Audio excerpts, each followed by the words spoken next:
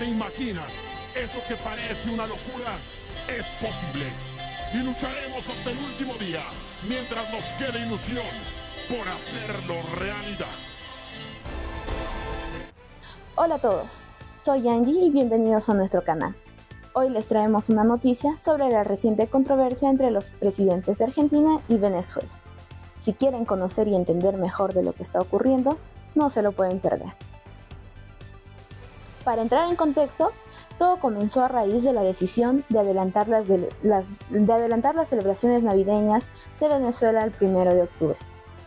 A causa de eso, el presidente de Argentina ha realizado duras declaraciones en contra del presidente venezolano.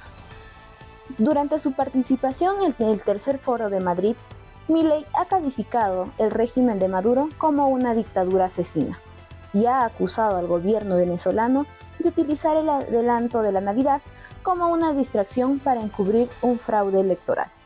El mandatario argentino ha señalado que Venezuela se ha convertido en un cementerio humano y ha criticado a la comunidad por no intervenir. El fraude que ha llevado a cabo y perpetrado el dictador Nicolás Maduro no es ni más ni menos que una victoria pírrica. Puede que haya ganado una batalla, que él crea que ha ganado una batalla.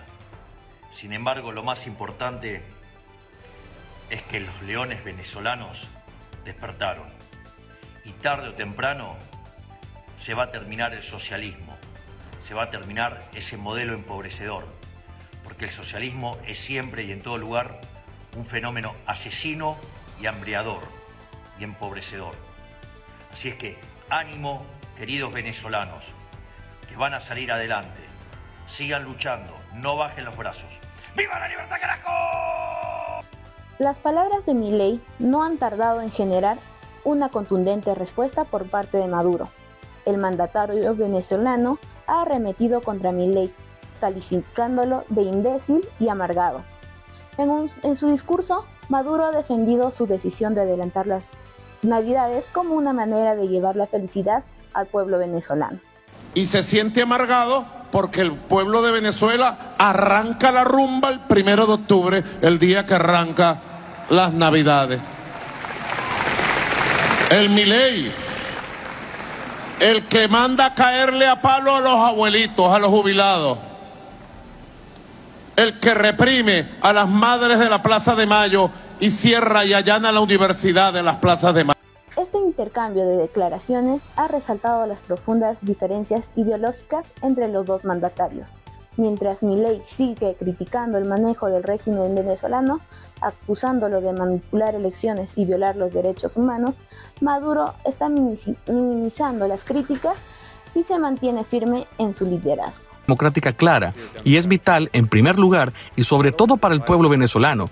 Pero aquí nuevamente creo que han visto que países de todo el hemisferio y mucho más lejos han expresado su profunda preocupación por la situación en Venezuela.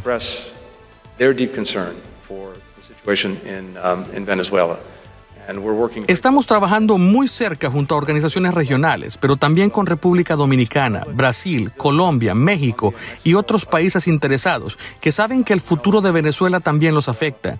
Y existe la determinación de ver a Venezuela regresar claramente a una senda democrática que refleje la voluntad del pueblo venezolano. El presidente Maduro eh, menciona la Navidad porque hace pocos días eh, adelantó el inicio de la Navidad en Venezuela para el eh, primero de octubre y un poco las críticas de Javier Milei iban eh, sobre ese tema que acusaba a Nicolás Maduro de adelantar precisamente la Navidad para esconder toda la polémica que ha surgido en Venezuela y en la cual, se, entre otras cosas, se le acusa a Nicolás Maduro de haber cometido fraude en las pasadas elecciones del 28 eh, de julio.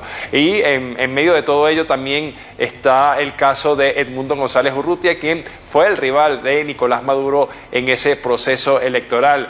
Ayer el fiscal general de la República, Tarek Williams... El fraude que ha llevado a cabo y perpetrado el dictador Nicolás Maduro no es ni más ni menos que una victoria pírrica. Puede que haya ganado una batalla, que él crea que ha ganado una batalla.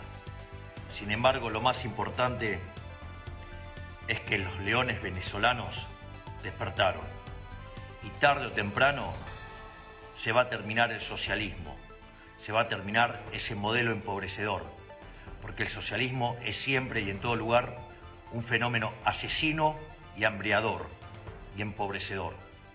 Así es que ánimo, queridos venezolanos, que van a salir adelante, sigan luchando, no bajen los brazos. ¡Viva la libertad, carajo! La tensión entre los dos presidentes, de Argentina y de Venezuela, continúa en aumento. Estaremos atentos a cualquier desarrollo. Eso es todo por hoy. Gracias por acompañarnos en nuestro canal. No se olviden de darle like y suscribirse para no perderse de nuestras próximas noticias. Déjenme abajo sus comentarios y cuéntenme qué opinan sobre este tema. Nos vemos en el próximo video. Eso que te imaginas, eso que parece una locura, es posible. Y lucharemos hasta el último día, mientras nos quede ilusión por hacerlo realidad.